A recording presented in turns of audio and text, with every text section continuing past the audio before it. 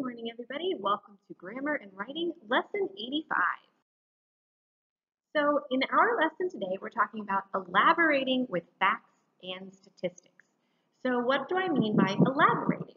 That means to fill out your writing, basically. As you're writing, you want to make sure you include lots of good, interesting details.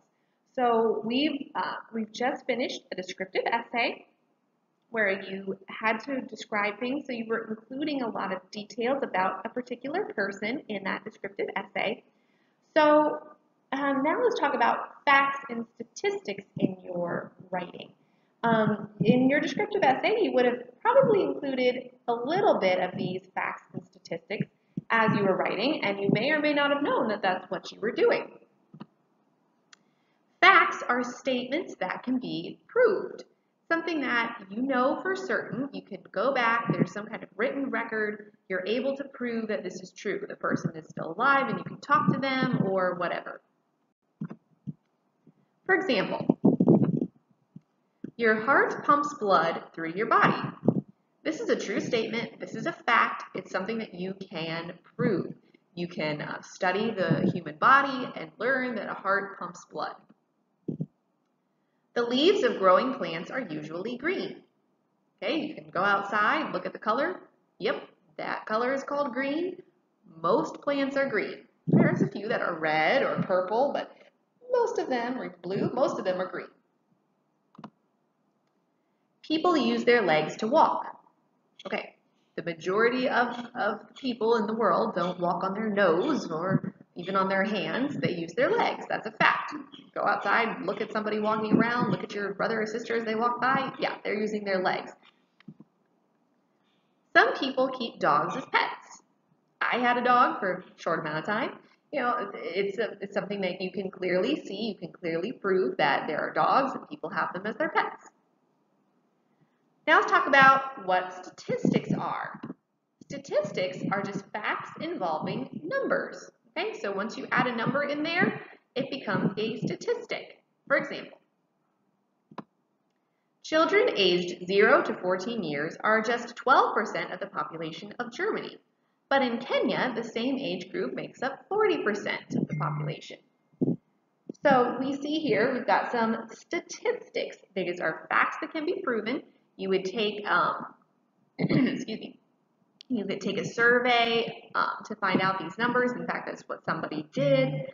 Um, and they would find out that 12% of the people, all the people in Germany, are children from 0 to 14, and 40% of the people in Kenya are children. It's almost half in Kenya. Here's another example. Today, there are about 3 trillion trees and 400 billion stars. So that means there's more trees than stars. Now, this is something that can be proven. You can go out and you can count the number of trees and the number of stars. And that's where somebody got this particular statistic. I don't know if they sat there and counted everything. I don't think that's what happened, but they were able to measure using various um, instruments and different things. So that's the difference between a fact and a statistic.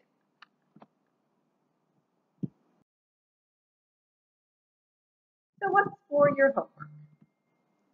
You are to complete elaborating with facts and statistics page 73 in your writing. So let's look at it together. It says recognizing and adding factual details. Read the following passage. In the first paragraph, underline the topic sentence twice. Remember, your topic sentence is the main idea of your paragraph. Not your whole piece, not your whole paper, just that particular paragraph. underline the topic sentence twice, underline each fact or statistic once. The second paragraph contains only the topic sentence. Add five or six sentences that support the topic sentence. Make sure that each sentence you add contains a fact or statistic. You may use your own knowledge or you may want to find facts in reference books. Okay, now I'm going to say there's an opportunity for bonus. There is a mistake in your direction, a grammatical error. If you can send me a picture of the grammatical error and like and circle it, circle what is the mistake in this paragraph that I just read to you of the directions, I will give you five bonus points in English. You can send me the mistake that is in this paragraph. Okay? Okay, moving on. Let's read and follow the directions, or let's read the paragraphs and follow the directions. Hobbies can provide enjoyment, relaxation, and sometimes even fame and fortune. For example, as a boy, George Eastman was interested in photography. Later, he grew wealthy as an inventor of photographic equipment. President Franklin D. Roosevelt gathered a huge collection of stamps. At the time of his death, his collection contained one and a quarter million stamps. These stamps were sold for $250,000 at a public auction. Almost any activity someone likes to do during spare time can become a hobby, but one choice stands out from all the rest. Okay, so that you have here in the first paragraph your definition of hobby, kind of. It's something that provides enjoyment, relaxation, and can even provide fame and fortune. So it's your pasatiempo, okay?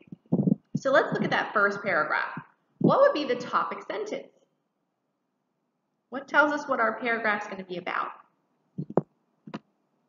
That's the very first sentence, as it typically is. Hobbies can provide enjoyment, relaxation, and sometimes even fame and fortune. So it's explaining that, um, excuse me, it's explaining that when you have uh, when you have a hobby, that this is what it can give to you, and then the rest of the paragraph is going to show you how a hobby can provide those things. So now we need to underline the facts. Let's look at the first sentence. For example, the second sentence, excuse me. For example, as a boy, George Eastman was interested in photography. Now this is a sentence that you could consider it a fact. However, I'm not going to this time, but you could argue to say that it was a fact. So I'm going to leave it up to you whether or not you will choose to say it is a fact. Um, but this is something to me that is more of something that's a little harder to prove unless you have the writings and the opinion of George Eastman, unless he tells you he was interested in photography as a boy. You'd have to be able to go back and somehow be able to prove that. Then it would become a fact. But you could say, well, yes, you could technically prove it, and so it is a fact. So that's up to you. You can decide whether or not you think it is a fact. Let's look at the next sentence. Is it a fact? Later, he grew wealthy as an inventor of photographic equipment. Yes, this is a fact for sure because you can definitely look up who invented photographic equipment and find George Eastman's name there. And you would know that he grew wealthy doing that. President Franklin D. Roosevelt gathered a huge collection of stamps. Again, this is a fact because it's something that can be proven. At the time of his death, his collection contained one one and one fourth million stamps. All right, is this a fact or statistic? That's a statistic because you've just added numbers into the mix. These stamps were sold for $250,000 at a public auction. Statistic because you have numbers there. Okay, so now your next part of your activity is that it says almost any activity someone likes to do during spare time can become a hobby, but one choice stands out from all the rest. So that's the topic sentence, the beginning of your paragraph. Now you need to add facts and statistics of your own. Your directions say add five or six sentences that support that main idea. But you need to include facts and statistics you can use them from your own brain. Remember, it has to be something that can be proven. Or you can use um, a reference book.